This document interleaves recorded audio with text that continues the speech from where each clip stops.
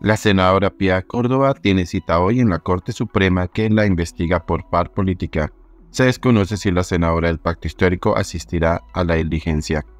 La senadora del Pacto Histórico, Pia Córdoba, tiene cita hoy 28 de julio en la Corte Suprema de Justicia que la investiga por par política, uno de los procesos que más le ha generado ruido en su contra y donde se busca establecer qué tan estrecha fue su relación con el grupo guerrillero. Hasta la mañana de este viernes se desconoce si la congresista asistirá o si al contrario pedirá aplazamiento. Sin embargo, está claro que durante la semana la dirigente cercana al gobierno perdió un pulso con el máximo tribunal porque ella, a través de una recusación, pretendía quitar su proceso de las manos de la magistrada Cristina Lombana porque considera que no tiene garantías judiciales. Sin embargo, la sala plena por amplias mayorías negó el recurso con el que busca revocar a la togada quien recientemente la llamó a versión libre para que declare por su presunta relación y cercanía con varios comandantes de la guerrilla de las FARC. En la acción que fue radicada por su abogada, se pidió que la magistrada Lombana no siguiera conociendo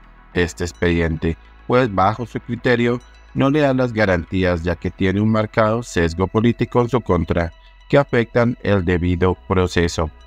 la legítima defensa y el acceso a la recta impartición de justicia. La petición va más allá y pidió que se declare insubsistente a la togada, esto es, que la retiren de su cargo. Córdoba tiene que dar varias explicaciones, en especial luego de que quien fuera su asesor personal, Andrés Vázquez, quien la señalara por aprovechar la liberación de secuestrados para ganar réditos políticos. El tema generó un rechazo sistemático por parte de los ex secuestrados de la guerrilla, entre ellos Ingrid Betancourt, quien declaró ante la Corte Suprema y dijo que la senadora sí tuvo responsabilidad sobre mi secuestro.